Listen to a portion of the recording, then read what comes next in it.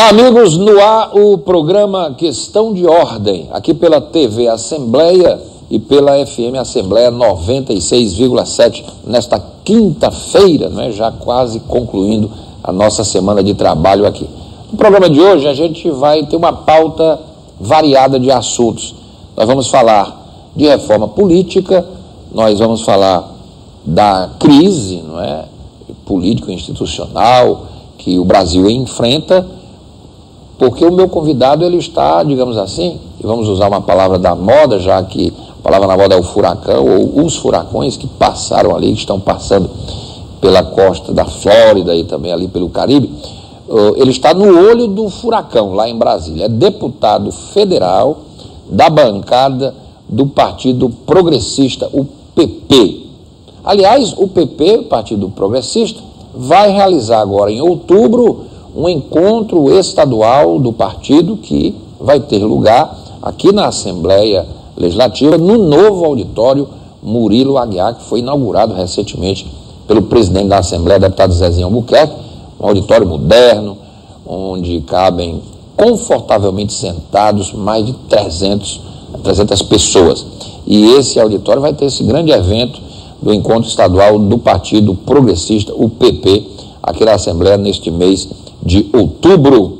Ele também se prepara para lançar um livro no Ideal Clube, na Semana Cultural do Ideal. É um assunto para este programa e também para um outro programa que vamos realizar aqui com ele. Meu convidado de hoje do programa Questão de Ordem, cumprimentando você que nos acompanha pela televisão Assembleia e pela FM 96,7, é o deputado federal Paulo Henrique Lustosa. É com ele o nosso programa. Ele é do Partido Progressista, ele é formado em administração de empresas, bacharel não é, em administração lá em Brasília. Ele tem especialização lato senso em administração financeira pela Fundação Getúlio Vargas, também em Brasília, e também é mestre, tem mestrado em políticas sociais pela Universidade de Brasília, a UNB.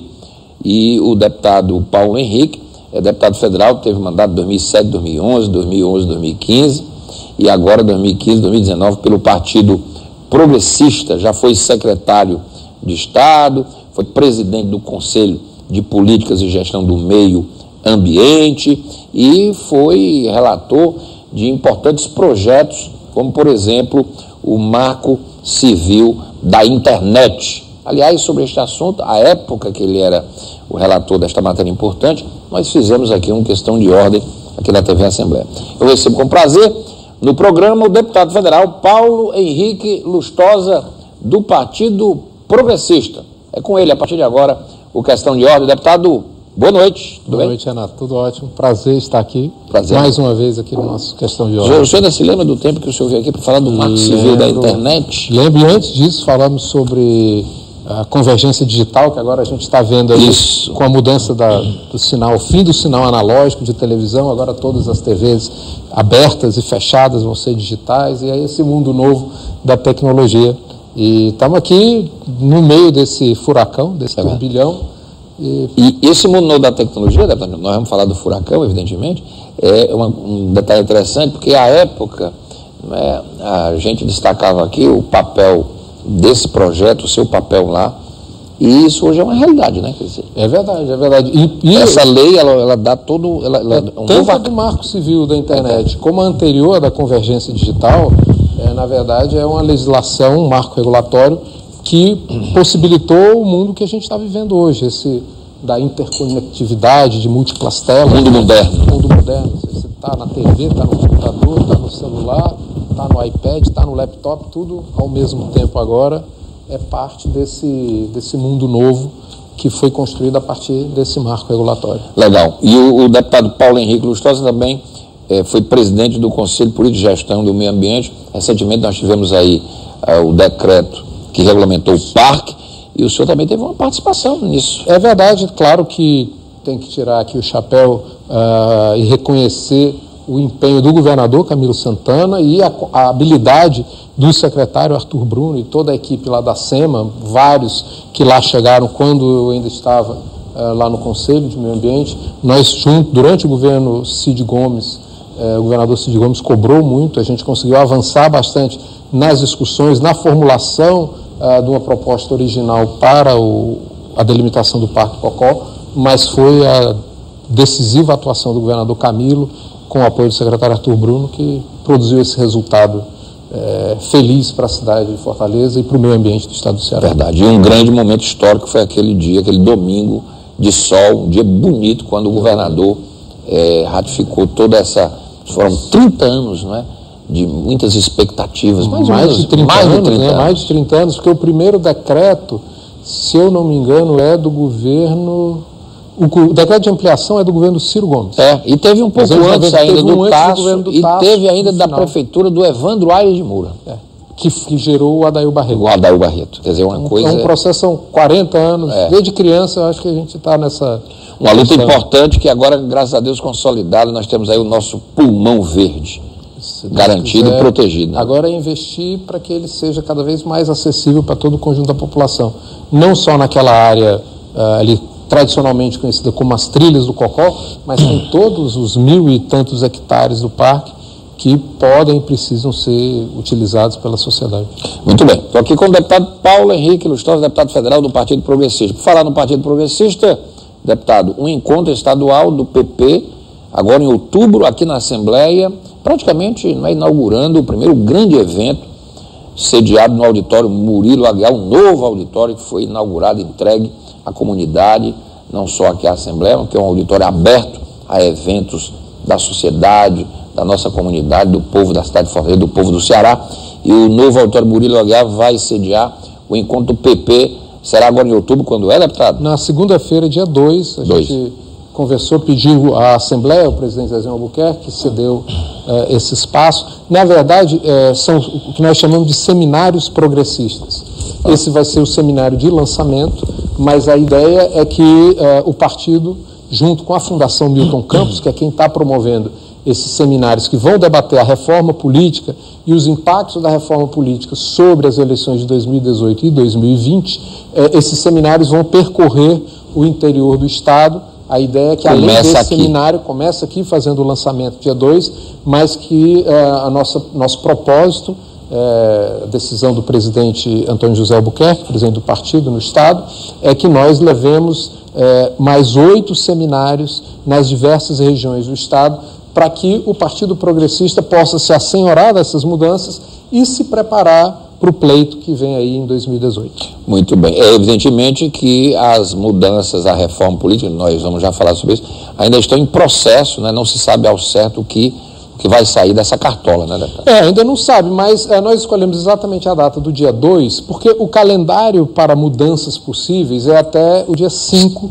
de outubro. de outubro. Na verdade, 7, mas 7 é um domingo, então até o dia 5 de outubro. É, então, a nossa avaliação é que no dia 2 de outubro, a gente já vai ter já uma tenho. perspectiva do que poderá eventualmente ser modificado. Muito bem, então todo, todos os diretórios municipais vão estar aqui? Todos estão convidados, todas as nossas lideranças, prefeitos, vereadores, vice-prefeitos, os deputados estaduais. Hoje nós fizemos, eu e o presidente Antônio José, um périplo aqui na Assembleia, conversando com os deputados estaduais, convidando para participar, nossos deputados federais. É, a ideia é mobilizar todo o partido nesse evento da Fundação Milton Campos. Como é que está o PP no Ceará hoje, deputado Paulo Henrique? Nós estamos numa fase, nós passamos por um momento de dificuldade, é, de disputa interna do partido, e nós estamos numa fase aí de tentar é, recuperar, reconstruindo. Reconstruir. Né? E aí esses seminários também têm esse propósito, têm essa função de mostrar que uh, a democracia do partido é essa mesmo, ou seja, há disputas, não dá para viver sem disputa partidária, mas que superada a refrega, a gente precisa olhar para frente e continuar trabalhando no fortalecimento do partido. Muito bem, então você que está nos acompanhando aqui no Questão de Ordem, se você é do PP, afiliado ao PP, participa de algum diretório, de alguma sessão do Partido Progressista em algum canto do estado do Ceará, você já está sabendo, dia 2 de outubro, aqui no Auditório Murilo Aguiar, uma segunda-feira, no Auditório Murilo Aguiar, um novo auditório, bonito, confortável, o encontro estadual, que na verdade são os seminários, o início, né? Os seminários progressistas, é, realização, promoção do Diretório Estadual do PP que tem à frente o Antônio José Albuquerque, não é isso? Exatamente. Então pronto. Então o PP vai começar a se organizar, depois realiza mais oito encontros para montar a sua estratégia para as eleições de 2018. E a estratégia vai ter a ver com a reforma política. O senhor está lá em Brasília, ainda pouco antes de começar aqui o programa, o deputado checava pelo celular como é que estava a situação lá na Câmara, né? E aí tem aquela história, tem 200 deputados, 400 presentes, mas em plenário só tem 200, quer dizer, os deputados vão, não vão. Como é que é isso, deputado? O que, que a gente pode esperar da reforma política? Sinceramente, sinceramente, eu espero muito pouco. É, eu acho que é muito complicado, é muito difícil você fazer uma reforma política de profundidade. Quando eu assumi meu, meu primeiro mandato em 2007, eu, à época eu escrevi um artigo, porque já naquela época havia uma discussão sobre a necessidade de uma reforma, reforma política, política, que sempre há, é igual a reforma tributária, a reforma política está sempre na pauta e nunca. É, eu escrevi um artigo que eu dizia em 2007 que nós devíamos propor uma reforma para 2022. E a ideia era partir da seguinte premissa: a melhor reforma hoje é aquela que garanta a reeleição dos deputados que estão no mandato. Isso na cabeça de cada parlamentar. Ou seja, quando é, é impossível pedir a um parlamentar que ele faça uma proposta de reforma que vá prejudicar ele. Verdade. É impossível. O cara não Ou vai então votar, que vai criar dificuldades, que vai criar dificuldades né, para eleição ele, dele. ou que vai impedir a eleição dele. Então é impossível. Eu não posso pedir para os partidos, por exemplo, que têm um desempenho eleitoral melhor, menor, que eles sejam a favor de uma cláusula de desempenho. Seria eles estarem assinando uh, a carta de suicídio deles. Então, para você poder fazer uma reforma transformadora de fundo, que mudasse as regras, mudasse o jogo para valer, ela tinha que ser algo que fosse transitada ao longo do tempo. Então, ah, o que é que nós temos acordo agora? Ah, para agora nós temos acordo para acabar com as coligações. Então tá bom, Pronto. acaba a coligação. Ah, vamos é, ampliar os mandatos para cinco anos? É, vamos, mas não pode ser esse mandato agora, porque senão, gente que quer ser candidato na próxima, no próximo ano teria que esperar mais. Então vamos deixar isso mais para frente. Ou seja, a ideia era que se fizesse um calendário e que isso fosse paulatinamente implementado. Só assim eu acredito ser possível falar numa reforma transformadora eh, do quadro político nacional. Senão nós vamos continuar fazendo reformas cosméticas, ajustes e pequenas mudanças que acabam, de um lado, sendo erráticas e de outro, eh, dando à sociedade a impressão que nada se faz. Bom, então, coligações passa ou não passa o fim delas, na sua, na sua perspectiva? Nossa? Do ponto de vista do calendário legislativo, o fim das coligações para 2018, a cláusula de desempenho e as federações de partido são as, os três pontos da reforma que estão mais adiantados. Mais adiantado. Eles já foram aprovados no Senado Federal e já foram aprovados em primeiro turno na Câmara dos Pronto, Deputados. então se mais uma votação... Mais uma votação, pronto. passaria. Passaria. Mas, o que acontece? Ah, uma série de partidos eh, eh, demandou, ou está demandando, que a mudança em termos de fim das coligações só passe a vigorar a partir de 2020. Se isso acontecer e isso for aprovado, é um Aí destaque volta de votação pro Senado. separado, volta para o Senado. E aí o calendário joga contra a mudança. Complicado. Complicado. Distritão, que é o voto majoritário, fim da eleição proporcional, como a gente conheceu. Pelo menos a minha geração já nasceu, já começou É, a votar. Desde que eu me lembro é, de votar, o sistema de votação Era o sistema proporcional, é. É, eu acho que, embora tenha maioria na Câmara a favor do Distritão, eu não acredito hoje que tenha maioria suficiente para a aprovação, já que é uma PEC. É uma PEC. Precisa de 308 votos. E aí a gente começa a ter um problema que é de calendário. Por quê? Porque a, a, a mudança para o, do sistema, para o Distritão, ela vai requerer eh, votação em primeiro turno na Câmara. Então, façamos uma conta rápida. Eh, teria que ser votado hoje, para poder ser votado na próxima quarta-feira em segundo turno, isso é dia 20, Na outra semana, isso. para ir para o Senado, para ser votado em comissão e depois no plenário da- do Senado, ainda na outra quarta-feira, para na quarta-feira da última semana em que pode acontecer as modificações, ser votada em segundo turno no Senado. Ou seja, ela teria que ser Muito votada e apertado. aprovada todas as quartas-feiras a partir de hoje, para cumprir. É impossível? Não, não é impossível, mas é muito apertado. Agora, deputado, eu acho, evidentemente, que eu concordo plenamente com o que o senhor diz, não dá para esperar de quem está no jogo político aprovar algo que vai prejudicar, por exemplo, uma, uma eleição ou possível eleição, que ele se propõe a ser candidato, quem vai dizer é o povo, se ele volta claro. ou não volta. Eu concordo. Como é que você vai querer que um, ele vá criar dificuldades? Agora, veja bem, coligações, cláusula de desempenho pode ficar para depois. No entanto, é, os partidos, mesmo os partidos que sejam contra, eles precisam entender que isso não vai poder ser adiado sempre. O Brasil não pode ficar convivendo com 39 partidos, 30, claro. 40 partidos. Claro. Isso inviabiliza a política, inviabiliza qualquer governo. Não dá. Então, a gente poderia, pelo menos, acaba a coligação proporcional, mantém-se a coligação majoritária, Sim. E os partidos, como não tem mais coligação proporcional, cada um vai lançar, vai lançar seus blocos e começa a experimentar o, qual é a força eleitoral que eles têm. Claro para a gente ter uma realidade mais palpável disso. Claro. Não, eu acho que, é, é, como eu falei, a cláusula de barreira, a cláusula de desempenho e o fim das coligações é o que há de mais próximo, próximo. de aprovação, porque Não. tem muito consenso em torno Não. disso, embora existam resistências, é, se começa agora, se começa na próxima eleição, mas é, e, e, ainda tem o seguinte: a, o Tribunal Superior Eleitoral, o presidente do Tribunal Superior Eleitoral, o ministro Gilmar Mendes, já disse em ocasiões anteriores que se o Congresso não regulamentar a questão das coligações, o tribunal vai fazê-lo. Vai fazer.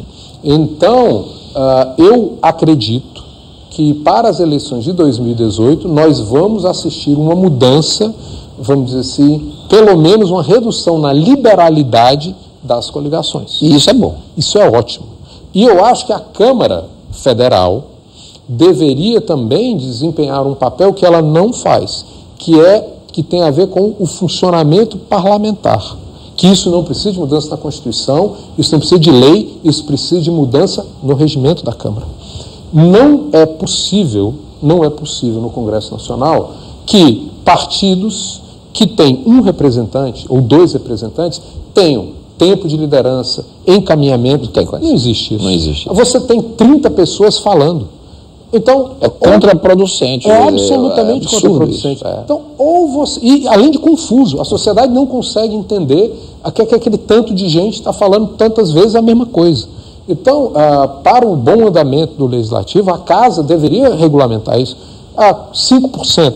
Se você não tiver um bloco de 25 deputados, você não tem direito a falar. É Ou melhor, não tem direito a falar enquanto partido. Caminho de votação. Caminho de votação. O parlamentar, Sim, claro, pode sempre falar, mas não vai existir funcionamento partidário. Né? Então, isso também ajudaria muito a dar celeridade no processo legislativo e a tornar o processo legislativo mais inteligível para a sociedade.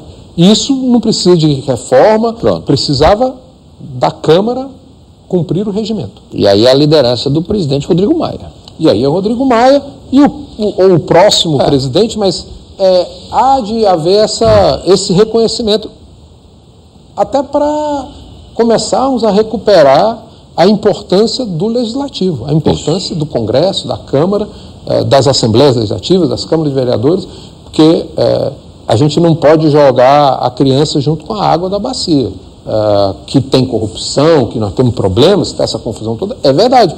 Mas a democracia é um bem muito valioso que a gente tem para a gente jogar fora porque nós estamos assistindo essas coisas. E o senhor, deputado, estou aqui com o deputado federal Paulo Henrique Lustosa, do Partido Progressista, aqui no Questão de Ordem. Deputado, o senhor disse algo aí extremamente importante, quando o senhor citou a disposição do TSE, já, essa disposição já foi inclusive dita publicamente pelo ministro Gilmar Mendes, de que ou o Congresso, a Câmara, regulamenta as coligações ou o TSE vai fazer. E aí a classe política depois não pode reclamar, porque se se omitir, o TSE vai, inclusive, fazer algumas regulamentações a bem do processo político. A bem do processo e político. E aí, se a Câmara não fizer, não, não cumpriu o papel como, dela. Como, como costuma se dizer né, na, na política, não tem espaço vazio, Exatamente. não tem vácuo de poder. Não existe. Se você não exercer o poder, se você não cumprir a sua função, alguém vai fazê-lo. Alguém vai fazer. Então, é, é, de lamentar que a gente não tenha conseguido uh, no Congresso construir um, construir um consenso. Volto a dizer, acho que o fim das coligações está próximo. E se a gente conseguir aprovar isso, é uma vantagem, uh, porque senão nós vamos ficar à mercê das resoluções do TSE, sem poder depois ficar reclamando, reclamando. disso ou daquilo. É porque é, é, é urgente é, que você defina algumas regras para as coligações. Tem cada coligação que é feita de uma forma estapafúria, são meros arranjos eleitorais ah, que, que, não servem para a democracia, não, deputado Paulo Henrique. E confundem o eleitor. Eh, partidos que não têm a menor identidade ideológica. Então, o cidadão vota uh, num pastor uh, de uma determinada confissão religiosa e elege uma pessoa que é ateu, ou, então ou é, vice-versa. É, loucura dizer, isso. Não, não, não, faz sentido. E pessoas que, quando vão exercer o mandato, vão ter posições absolutamente antagônicas em questões como, por exemplo, liberação do aborto. É. Exatamente. Como é que dois partidos que pensam antagônicos podem estar juntos numa eleição proporcional para deputado? Isso não nos sustenta. Exatamente. Como é que você explica para o eleitor? Não, você votou no fulano que defendia o aborto, mas elegeu o Beltrano que é, é ferozmente contra, é contra, ou vice-versa. É, não dá. Não, não dá. dá. Então, e, dizer, ter... Isso tem que ficar claro para o eleitor. Sabe por quê? Porque aí o eleitor começa a se sentir que está sendo levado na brincadeira. E a política não é isso. Você tem que ter uma posição clara e o eleitor escolhe quem será seu representante. Eu quero esse representante porque eu penso assim. Exatamente. É, é assim que tem que ser. Ou então eu voto desse partido, porque esse partido pensa mais ou menos, eu sou liberal, eu sou um comunista, então eu, eu voto de acordo com a minha percepção política. É Exatamente. isso que tem que ser. Eu acho que essa é a ideia. Essa é a ideia. Vamos então, lá em Brasília, é, a tendência então é essa, né? É, eu é acho que se nós conseguirmos aprovar alguma coisa a preço de hoje, vamos dizer assim, sim, sim. Né, é, é, a, a, realidade. É a, o fim das coligações proporcionais e a cláusula de desempenho. Bom, deputado Paulo Henrique, e a crise política? Qual é o sentimento? O senhor está lá no olho do furacão. O que é que se fala em Brasília? Porque é, é, ninguém pode dizer nada assim a médio prazo. Eu acho que Três dias já é tempo demais nesse negócio, né? Quer dizer, as coisas mudam. Quer dizer, há, há 15 dias atrás, os irmãos Batista estavam surfando na onda, tinham entregue uma gravação com o presidente da República, jogaram o país numa confusão dos diabos, estavam em, em, Nova York passeando, não é, no bem bom, com muito dinheiro, etc. Todo mundo dizia, e eu acho que talvez até foi o erro deles, ficar expondo essa coisa que a nação não aceitou. É verdade. Passou-se algum tempo, o próprio procurador viu que aquilo ali não era sustentável, o Congresso reagiu, o Supremo reagiu. Eles já estão presos, os dois, tanto o Joésio como o Wesley. A prisão, que era de cinco dias, vai ficar indeterminada. Quer dizer, a coisa virou. Da segunda-feira, já temos um novo procurador-geral, que é a doutora Raquel Dodge, a primeira mulher. E eu queria que o senhor agora fizesse uma avaliação da percepção que o senhor tem a partir destas preliminares que eu coloquei aí. Caso Joesley, as delações, o, o Janot que está saindo, vai entrar uma nova é, PGR. O que é que a, o Congresso, o que é que o, o senhor, como político, lá, ouve lá em Brasília, deputado Paulo Henrique? É, vivemos tempos velozes, né? Velozes. Tempos velozes. Antigamente é, se brincava muito por conta dessas inseguranças. Parece parodiando um filme muito famoso que já está no, no 8, Velozes e, e Furiosos, Furiosos é que já está no número 8 esse filme. E, e dizia que no Brasil até o passado nos surpreende, né? É. Então, agora nós vivemos essa, essa política de todo dia, né? Cada dia é uma, é uma surpresa. É, o que eu acho é o seguinte, a minha opinião, primeiro, é, apesar de tudo, apesar de todas as dificuldades, as instituições estão de pé. Né? As pessoas, eu acho, estão muito carcomidas. É, algumas instituições, e aí esse é um dos objetivos dos nossos seminários progressistas, os partidos políticos estão com uma credibilidade, a classe política como um todo e as instituições que os organizam, que são os partidos, estão com uma credibilidade muito abalada, mas a, o Congresso continua funcionando, Uh, o executivo continua funcionando, o Ministério Público continua funcionando, o Judiciário continua funcionando. O que eh, eu espero, eh, com agora uma nova Procuradora-Geral, depois nós vamos ter eleições presidenciais, eleições parlamentares, é que aos poucos uh, as instituições voltem para os seus respectivos lugares. é, o que a gente assistiu ao longo desses, pelo menos na minha visão, ao longo desses dois, três últimos anos, é um ativismo político de todas as instituições, inclusive, de instituições cujo papel não é político. Não é esse. Né? Então, não é esse. Então, é muito ativismo político, o que fez com E todos que... perdem com isso. Né? E todos perdem, é. porque uh, abre-se uma disputa de espaço entre as instituições que a Constituição, é, como mãe do funcionamento do Estado de Direito, já havia delimitado o papel que cabe ao Executivo, ao Poder Legislativo, ao Poder Judiciário, ao Ministério Público, ao Ministério Público e, de repente, é, fruto dessa crise que nós estamos vivendo há três, quatro anos, de repente essas instituições passaram a não respeitar os seus limites. E está um ativismo político, todo mundo está fazendo política. Todo Verdade. mundo está fazendo Verdade. política, no sentido política partidária. Claro que todo mundo faz política, a política é natural da atividade humana, mas todo mundo está se partidarizando. É, pegar um exemplo, você falou do, do, do procurador é, Janot, Janot, que, tá saindo. que agora está saindo, que, vamos reconhecer, teve uma atitude de muita hombridade ao uh, reconhecer que o Ministério Público precisava rever o acordo firmado com a JF, né, com a JBS, por conta dos fatos, inclusive envolvendo membros do próprio uh, Ministério Público. Agora, permita só um parêntese no que o senhor está dizendo. Concordo plenamente com o que o senhor está dizendo, mas eu, eu concordo também com o que eu li recentemente. Vírgula. Não se sabe se esse reconhecimento do, do erro se dá pela proximidade do fim do período dele. O, o, o, jornalista quer dizer o seguinte: se ele tivesse, tivesse começando, será que ele reconheceria? Agora está saindo, vem uma outra que pode rever e aí. Então, é. Mas o importante, mas o é, importante é a revisão é, é do fato. Houve, é. E é o que eu falo, as instituições funcionando. Porque exatamente o fato de que ele vai sair, alguém vai entrar, obriga Pronto. que isso aconteça. E isso é bom. Isso é bom. Então, mas, por outro lado, aí está falando criticamente em relação ao próprio Janot, já fiz uma parte elogiando, uma parte crítica, aquela frase, ao meu ver, absolutamente infeliz dele de é, enquanto tiver bambu tem flecha, pelo amor de Deus. Não existe isso. Isso é frase que uh, o partido A pode dizer em relação ao partido B. O, o partido que está na oposição, se os parlamentares, os deputados aqui que fazem oposição ao governador Camilo, um deles for lá à tribuna e disser, não, porque aqui, enquanto tiver bambu, vai ter flecha. Está certo, o papel da oposição é ter partido. Um lado vai disparar as flechas no outro lado, porque o outro lado é adversário tem posições antagônicas dentro da regra do jogo político. O Ministério Público não tem adversário. Não. O Ministério Público não tem que flechar ninguém. Ele o é fiscal da lei. Público tem que fazer a lei, com, ver se a lei está sendo cumprida. Uh, e ele não tem que perseguir nenhum, não nenhum ente não político. Escolhe, não, não, ele não, não tem que escolher escolhe. alguém para perseguir ou alguém para proteger. Não. Exatamente, ele não, tem pode. lado. Então não pode ter bambu, não pode ter flecha.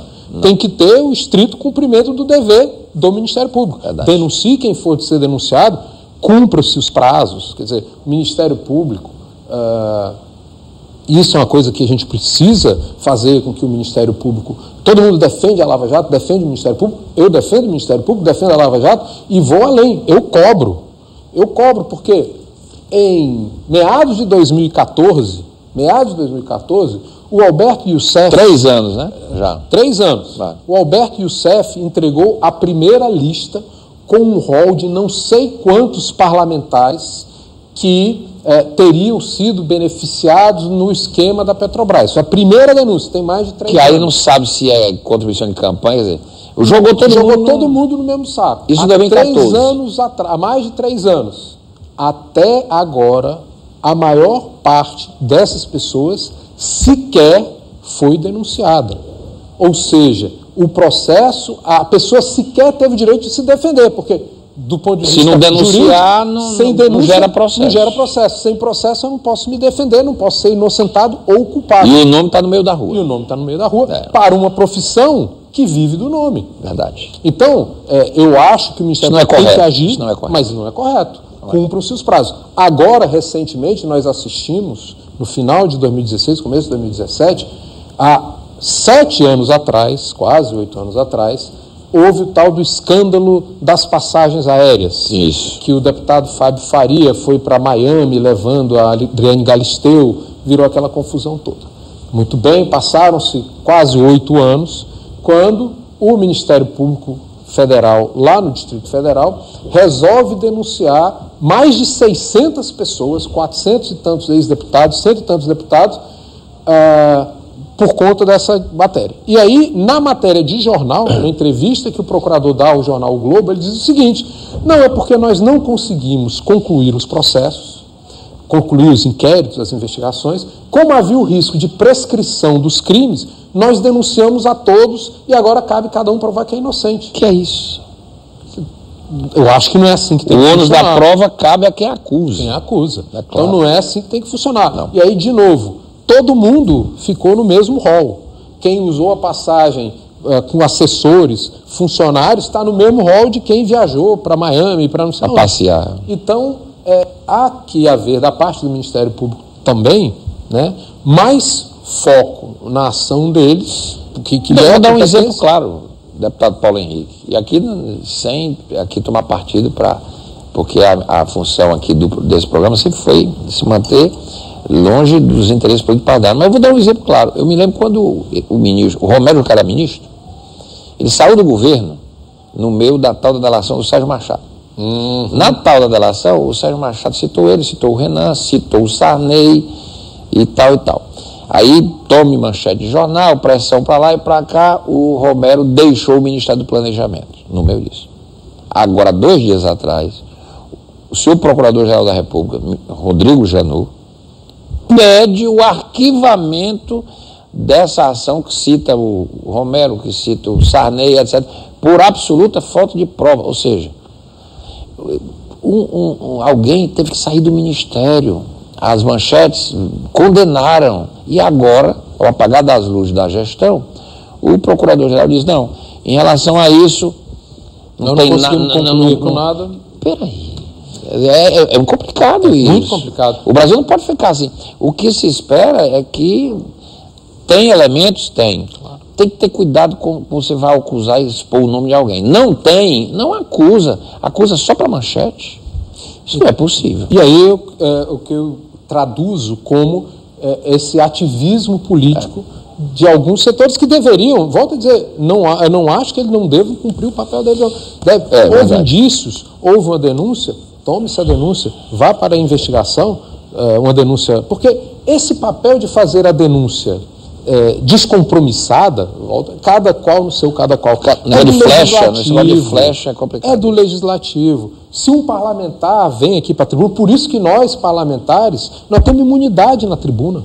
Porque eu, eu como parlamentar, com base em indícios frágeis, eu posso ir à tribuna e denunciar o governo levantar uma suspeição, pode, pode. eu posso, eu devo, sendo eu parlamentar de oposição. É função devo, do parlamentar. É função né? do parlamentar, Fiscalizar. por isso que eu tenho imunidade.